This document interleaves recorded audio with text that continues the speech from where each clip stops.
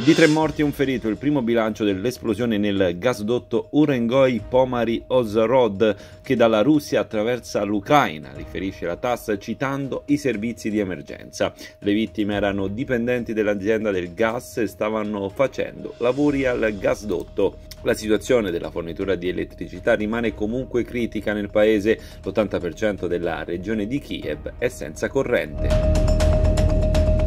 Due giornalisti italiani hanno denunciato di essere stati oggetto di un attacco intenzionale da parte dei russi a Kherson, ma sono riusciti a mettersi in salvo.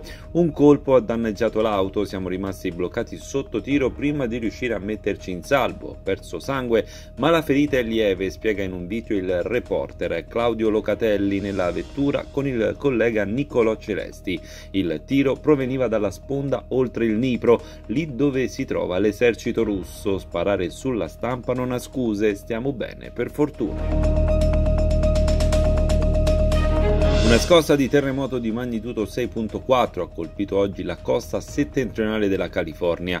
Il sisma è stato localizzato ad una profondità di circa 16 km. La scossa delle ore 2.34, le 11.34 in Italia, è stata registrata a 12 km a sud-ovest di Fernald, una cittadina nella contea di Humboldt. Per ora non ci sono notizie di feriti o vittime, il terremoto non ha fatto scattare l'allerta tsunami.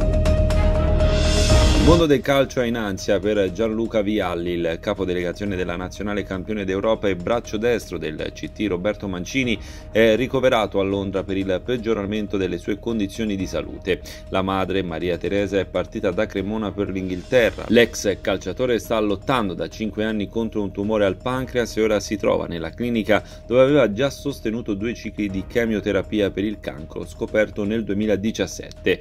Proprio pochi giorni fa l'ex attaccante di Sampdoria, Juventus e Chelsea, aveva preso una pausa dalla nazionale per dedicarsi completamente alle cure.